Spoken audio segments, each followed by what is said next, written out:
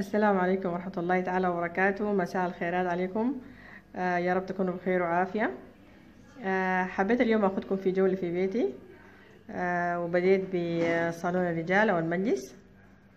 الطقم يعني بتكون من ثلاثة صوفات. كلها من هوم سنتر هنا ال- الكنبة الصغيرة فيها كرسيين. طبعا دي آلاء بتسلم عليكم قالت لكم مساء الخير. هنا التلفزيون عاملينه على الحائط.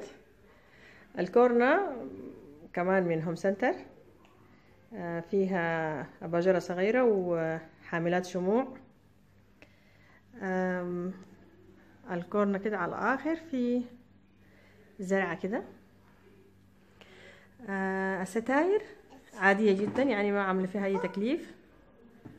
ما عاملة فيها أي تطريز أو شيء عشان تتناسب شوية مع اللون. آه دي هنا ال- الكنبة الكبيرة. آه صراحة أنا العاملة ال- ال- المساند دي اللي شكلتها يعني ما كان ما كانت آه، بالشكل ده وما كانت بال ما كانت بالألوان دي. ف ده من اختياري يعني. أتمنى إنه يعجبكم. هنا الكورنر الثاني كمان فيها برضه نفس الشيء. في أباجورة وفي وفيها حملة شموع وفي هنا إهداء لزوجي هو أبو محمد. آه هو طبعا يشتغل في قناة الجزيرة. آه رئيس قسم الشراكات والبحوث. بقناة الجزيرة. هنا ال- الصفة الثالثة. هنا طبعا المكتبة وأنا وزوجي الاثنين طبعا آه، خريجين جامعة الخرطوم قانون وأهل الكتب طبعا القانون. آه، فبنستعين بها في ال... بالنسبة لي استعين بها في الماجستير وزوجي طبعا هو زي ما قلت لكم آه، يستعين بها في البحوث وكذا. هنا؟ آه، هنا في حاجات يعني أتمنى أن تنال إعجابكم.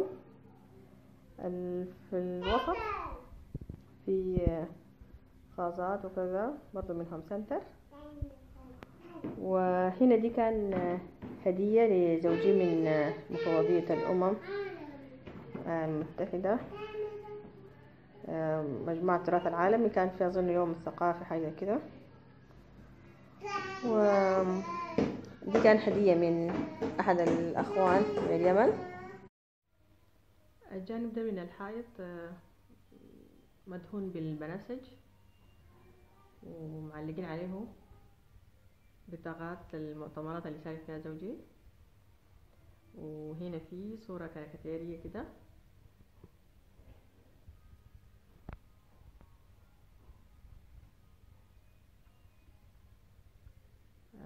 آه، رسم رسام اسمه شجاعات في قناة الجزيرة. ننزل معاكم تحت شوية.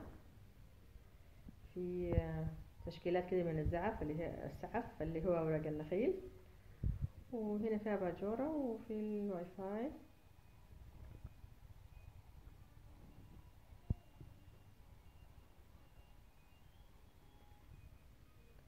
ده كان ال- الفيديو اليوم أتمنى إنه يعني ينال إعجابكم وأشوفكم على خير إن شاء الله يا رب. مع السلامة.